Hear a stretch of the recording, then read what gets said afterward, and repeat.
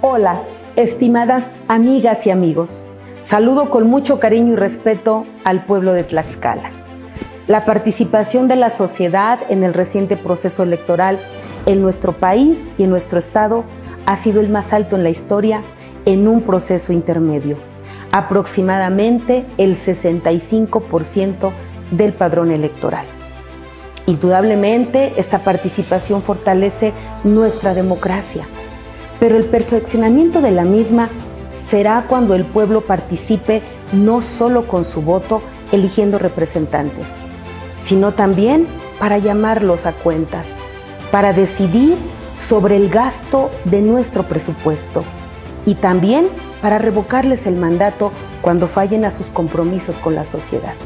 Es decir, pasar de una democracia representativa a una democracia participativa directa. Por eso, hoy hago una invitación a todo el pueblo de Tlaxcala para participar en la primera consulta popular que se realizará en nuestro país.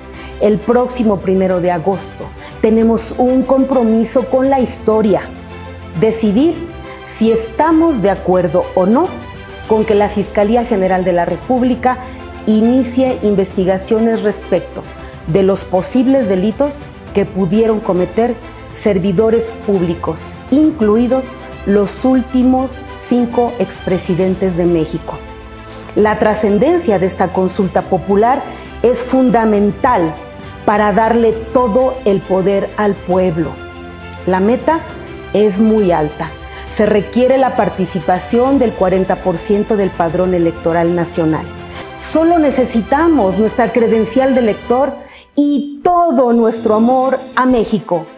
Infórmate y participa. Es tiempo, no de venganza, pero sí de justicia.